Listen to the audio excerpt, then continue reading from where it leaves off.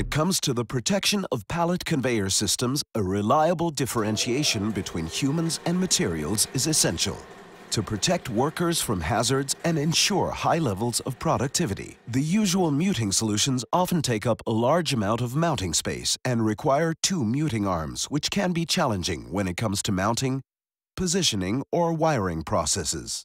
With this in mind, SICK now offers an alternative to conventional muting systems.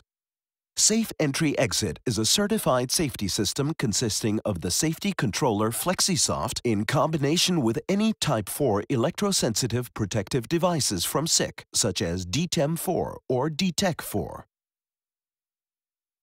And ready to use sample projects which make integration easy and less of an effort.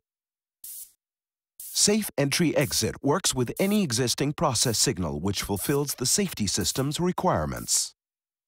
As SICK offers a broad portfolio of Type 4 electrosensitive devices, you can easily adapt the safety system to the specific conditions and requirements of your plant.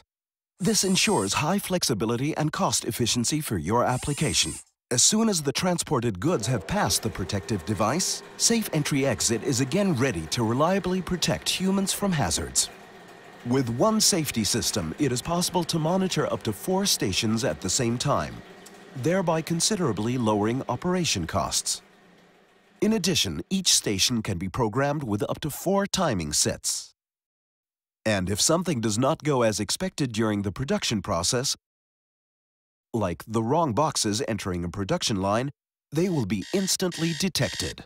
With Safe Entry Exit, you are Industry 4.0 ready. Detailed diagnostics and visualization via Flexi Soft are possible.